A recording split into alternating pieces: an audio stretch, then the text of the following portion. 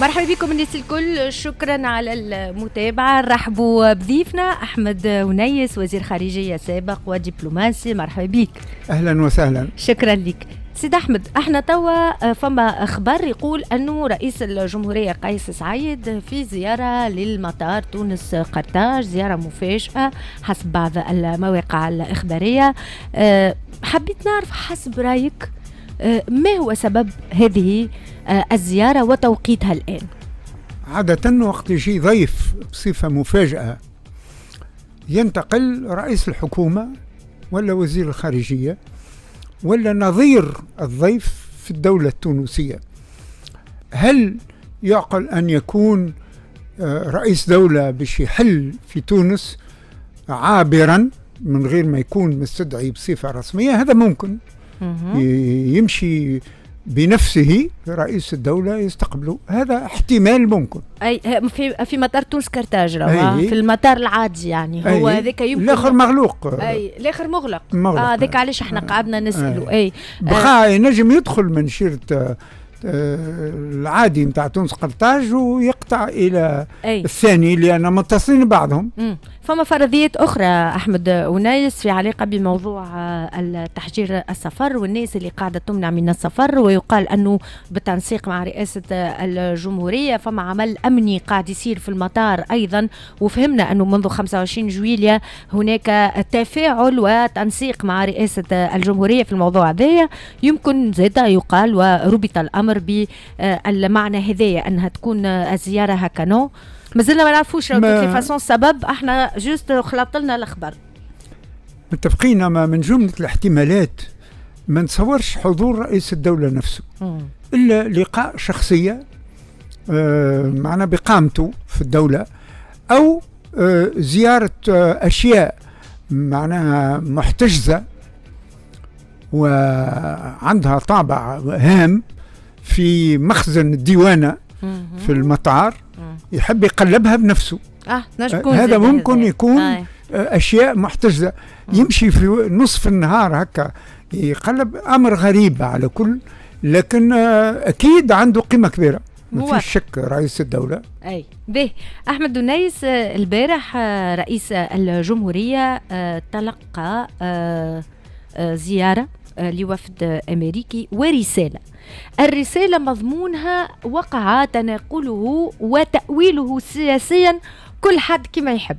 هيك نرجعوا إحنا للجمل اللي هي نجموا نعتبروها مفاتيح وانت طبعا بعد أحمد ونايس تقول لنا كان فما معاني أخرى أه، تحب تجلب الانتباه لهم اولا الرسالة فيها أن الإدارة الأمريكية تدعو قيس سعيد للعودة السريعة إلى مسار تونس كديمقراطية برلمانية الحاجة الملحة إلى تعيين رئيس حكومة مكلف ليشكل حكومة مقتدرة بإمكانها معالجة الأزمات الاقتصادية والصحية العاجلة اللي تواجهها تونس.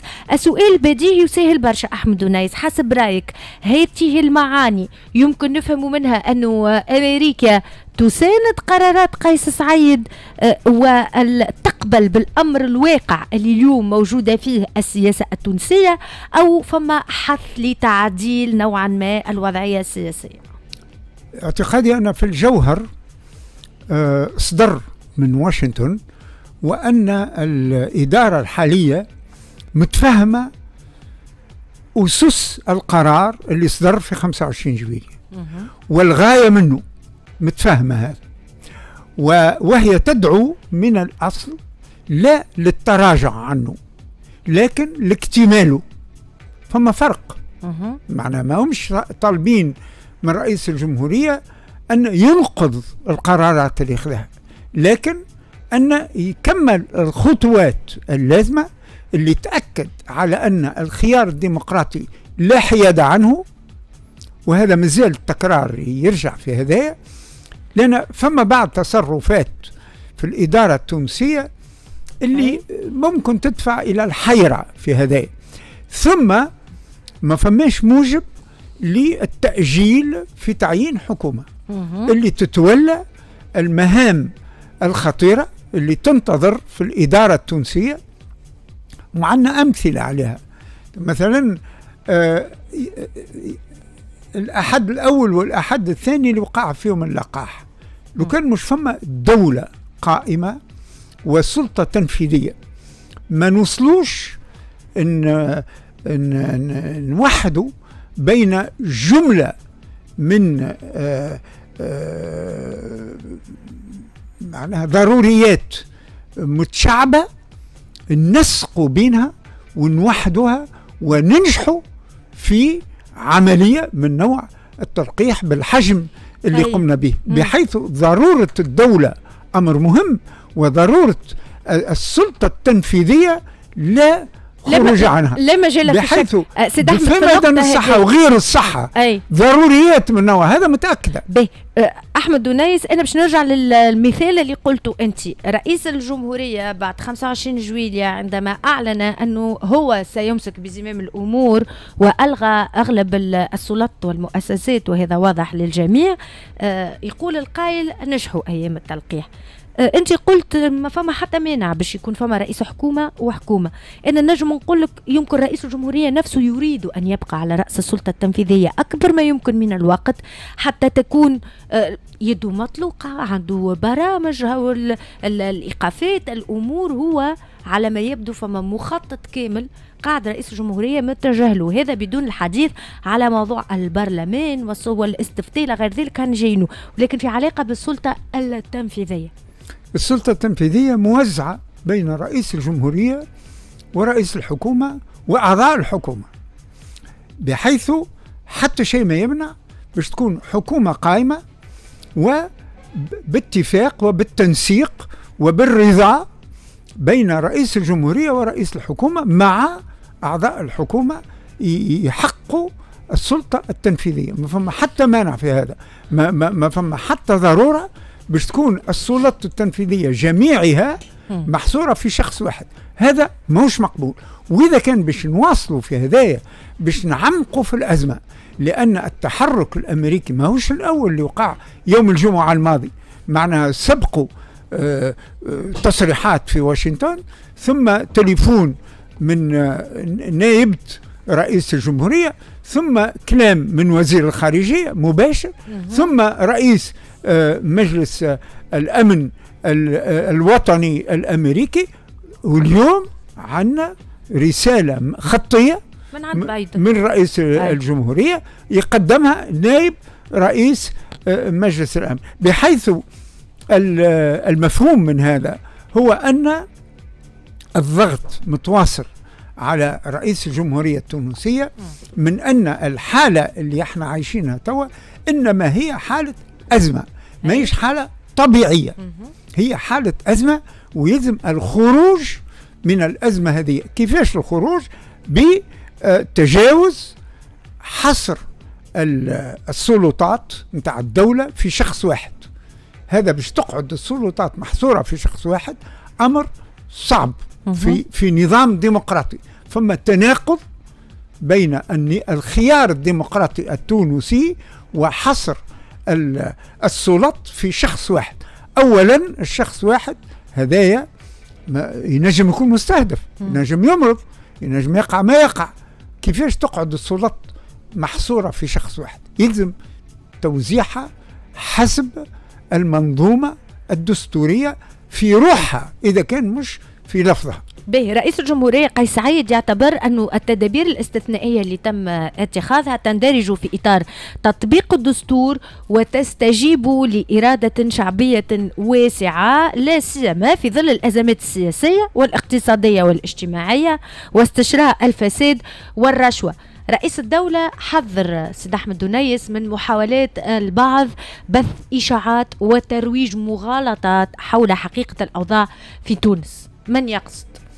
الحجة اللي تبرر اتخاذ القرارات من 25 جويلية موجودة ومفهومة. نفهموها في الداخل في الشعب التونسي ومفهومة في الخارج. عند جميع الشركاء إلا واحد برك يمكن تركيا.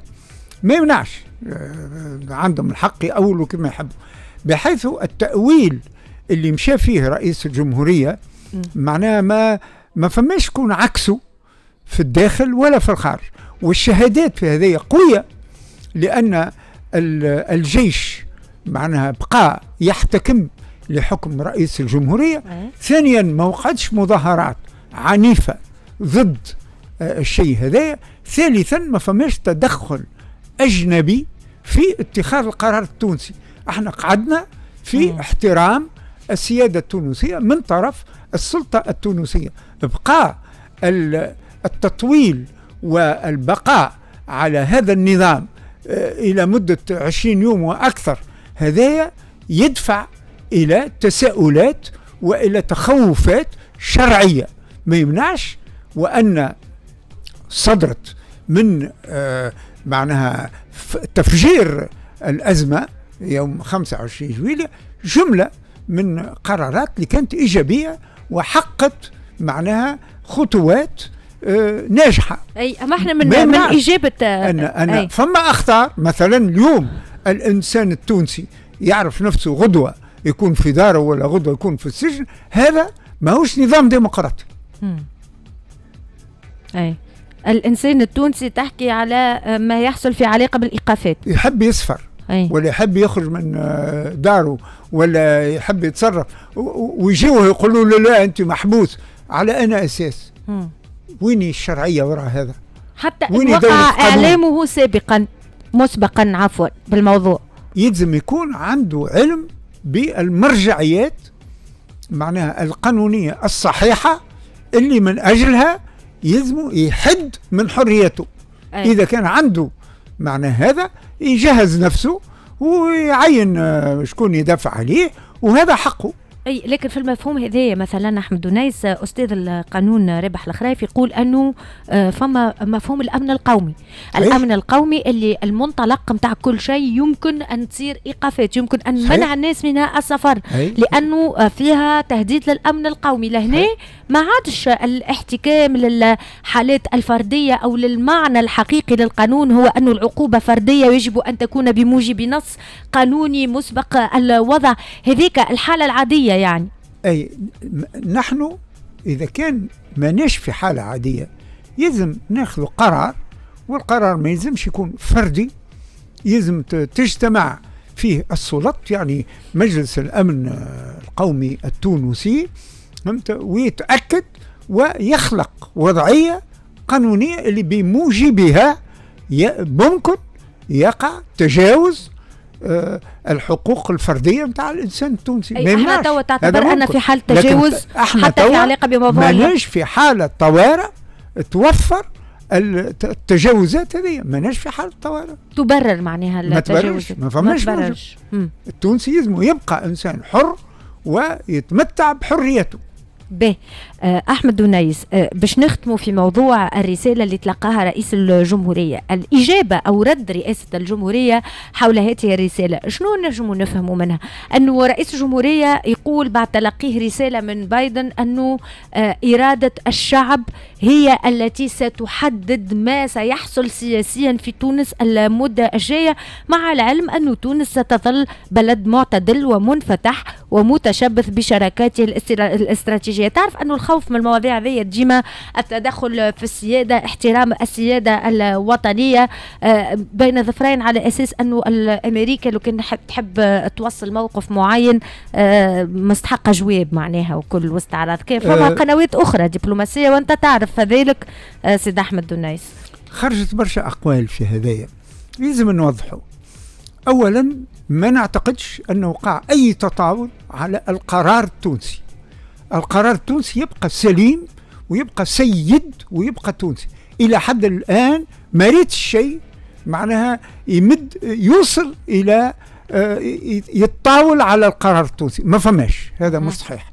ثانيا لما مجتمع معين مثلا المجتمع التونسي يقر وأنه يختار الديمقراطية فهو يدخل في عائلة ديمقراطية اللي هي متوفرة في العالم في أكثر من خمسين دولة ويقبل باش تقع حوار ومشاورات بين أعضاء الأسرة الديمقراطية في العالم حول الخيار الديمقراطي والثبات فيه. ثانيا الحريات الأساسية. ثالثا حقوق الإنسان يعني دولة القانون اللي يدخل في الأسرة الديمقراطية يقبل باش تقع حوارات بين أعضاء الأسرة الديمقراطية. فهمت؟ حول هذه المعاني السامية اللي هو اختار طوعيا الدخول فيها. بقى هل الولايات المتحدة الأمريكية اللي هي تدعي أنها ديمقراطية بل هي زعيمة الأنظمة الديمقراطية هل هي حقا ديمقراطية ولا رأيي الشخصي أنها ما هيش ديمقراطية. ولو تتوفر فيها بعض عناصر تأكد على الحياة الديمقراطية وبعض من السياسات الديمقراطية لكن ما هيش متكاملة ما هيش متآلفة ما هيش متواصلة في الزمن ولا في المكان هي ديمقراطية اخ... معناها آه اختيارية أي. معناها أي. فما تتعامل بالسياسة الديمقراطية مع بعض وتتعامل بسياسة التجبر أي. أي. والقهر مع البعض بحيث في أي. رأيي أنا هي ما هيش ديمقراطية سيد أحمد هي الولايات المتحدة الأمريكية آه، تمثل محور معين على على مستوى السياسة الخارجية والمحور هذايا آه، ديما إحنا نراقبوا في موقع تونس أو المسافة اللي تاخذها تونس آه، من ذلك حتى في علاقة بالإسلام السياسي وهذا اللي تطرح البارح في في مواقع التواصل الاجتماعي. مثلا اليوم آه، أمريكا آه، وقت اللي باش تساند قيس سعيد يعني أنها لا تدعم منذ ذلك الحين الإسلام السياسي في تونس ومن خلاله حركة النهضه فما شكون يقول لك زاد قيس سعيد يمكن أنه لا يستجيب للمطالب نتاع الأمريكان لأنه يمكن آه، عنده سياسة خارجية أخرى. معناها il vise une politique extérieure autre مع محاور أخرى في العالم. هذا حقه هو هذا ساعة واقعي ولا لا حسب رأيك؟ القراءة تستقيم ولا سيدي اعتقادي أن الحوار مع الولايات المتحدة الأمريكية طبيعي لأن آه، واشنطن تعاملت معنا تعامل جدي وإيجابي معناها طول الزمن وخاصة منذ أقرينا الخيار الديمقراطي. وإلى حد اليوم الأمن متاعنا استدرك بعد موجة الإرهابات اللي تعرضنا لها آه، بفضل مساعدات من التعاون الدولي وعلى رأسها الولايات المتحدة الأمريكية. ثم في جميع الأزمات اللي قطعناها العشر سنوات الماضية وخاصة السنوات الأخيرة الولايات المتحدة الأمريكية عاونتنا نعم. على أساس ثنائي. طيب ولذا مصلحتنا أن نواصلوا في التعاون وفي الحوار مع النظام هذايا بقى تقدم لنا تأويلها لفهم الأزمة اللي دخلنا فيها اللي هي من نوع آخر. وهي في, في نطاق الخيار الديمقراطي. ما, ما يمنعش أن نتقدم تأويلها فهمت؟ نستمع إليها ونحتفظ بحق القرار السيد التونسي ونوضح لها الحجة متاعنا. بقى قيس سعيد إلى حد الآن يتحاور معه لكن ما عندناش علم على آه، ما عسى يكون النظام السياسي في تونس غدا وبعد غد. بي. الأمر ما زال ماهوش واضح. اش قال؟ معنا للجماعة الامريكان أنه في المبدأ ماهوش خارج عن دولة القانون وعن الخيارات الديمقراطية والأزمة. تملي أنه يتخذ قرارات باش يقطع دابر التعجيز معناها والفساد اللي انتشر في تونس. هذا ينجم يكون عنده حجة قوية في هذا وينجم يكون مقنع. وفي الشعب التونسي نحن مقتنعين من ضرورة العمل لكن ما زال ما اكتملش. يلزم نكملوا الخطوات اللي توضح هذا وتبين لنا أش باش يكون النظام السياسي في تونس غدا ما نجموش نكونوا تحت شخص واحد يحصر جميع الصلاحيات نتاع الدولة. هذا ما هوش مقبول. وإذا كان كيف ما قلت أنت غدوة آه، رئيس الجمهورية يكون هو بيده رئيس الحكومة هذا باش يقع معناها تصدي لمثل هذه الادعاءات.